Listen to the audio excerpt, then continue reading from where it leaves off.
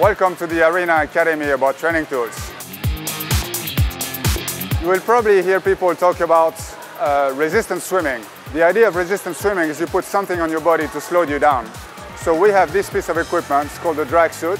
It's a square suit that is unisex. You basically put it over your suit and swim with it. It is uh, a loose uh, polyester mesh material that is going to slow you down, create some extra drag. So you will swim with uh, more resistance. The idea is that when you take it off, you have the feeling of flying through the water because you don't have this resistance anymore. This is the square drag suit that you put over your uh, suit and swim with to create more resistance.